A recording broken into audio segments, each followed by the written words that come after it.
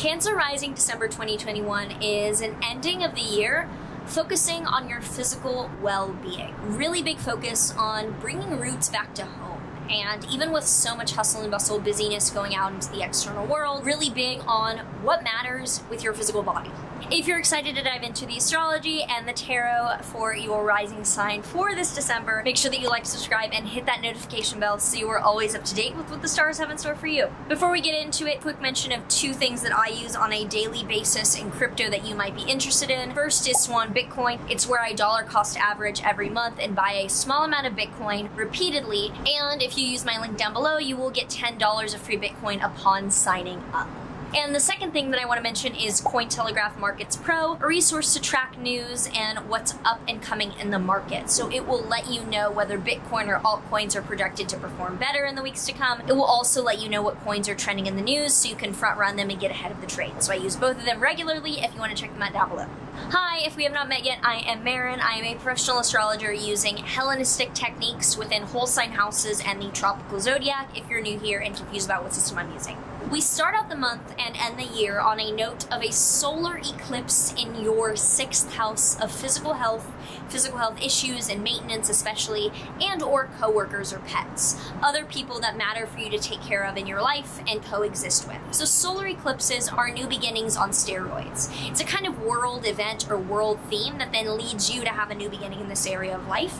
For you that's around daily physical health upkeep or maintenance of health issues or coexisting with coworkers or pets. A kind of new beginning that after the past year and a half of focusing on letting go or cleaning out that area of life with habits or the people that you work with, now it's what's your final takeaway and how are you going to prioritize this area of life leading into 2022. From the 6th to the 8th, Mars in your Scorpio 5th house will be squaring Jupiter in your Aquarius 8th house. So some trouble, conflict, maybe even just going after something you want in your 5th house of creativity or romantic relationships is squaring Jupiter in your 8th house. So almost like there's trouble or a bit more effort you're having to towards romantic relationships or your children or art, whereas you seem to be getting a lot of money or are doing well investment wise. And that's like up against maybe you're like, honey, I have to trade, and they're like, come to bed. Or like, I've seen that dynamic where like you want to be doing something fun, but in reality, you're focusing on profit. On the 9th onward, Venus will conjoin Pluto in Capricorn. The growth and massive growth of the value of relationship will tone the entrance into the new year. Venus's values Pluto is massive scale, Capricorn is serious, and your seventh house is committed relationships. So this is the really big, long, longer term focus as we head into 2022. On the 11th to the 12th, the Sun in your Sagittarius sixth house will be squaring Neptune in your Pisces ninth house. So focusing on bettering your physical body does come with some issues because you're not sure where you'll be location wise or education wise in the next upcoming months. It looks like you're trying to get your like healthy lifestyle together, but you don't know where you're going to be located in like a ninth house foreign travel higher education circumstance. So that might lead to a lack of clarity. On the 14th, Mars enters your Sagittarius sixth house. Looks like you're going after bettering yourself, your physical well-being, and um, there's just more activity and aggression going towards physically keeping yourself in uh, good health. From the 16th onward, Saturn in your Aquarius 8th house will square Uranus in your Taurus 11th house. This has been a year-long theme, but it's the really big focus as we close out the year.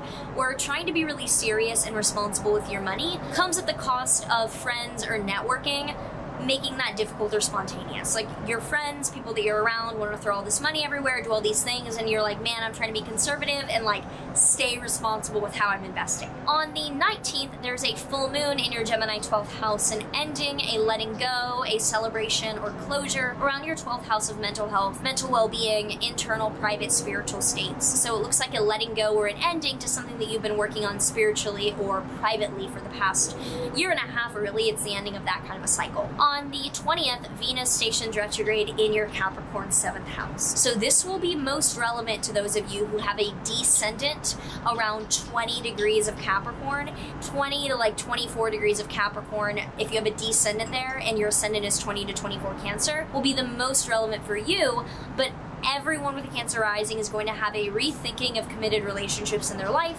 for the next two or so months. On the 22nd, as the sun enters your Capricorn 7th house, that is even more of a focus. Now, on the 28th, Jupiter enters your Pisces 9th house. We got a preview of this May into July when Jupiter, the planet of growth, was in its home sign of Pisces in your 9th house of foreign travel, spiritual, large scale, like inquiry or practices, or higher education, where for the year ahead, that is the area of life with a lot of progress and growth for you, where you can expect a ton of abundance and optimism.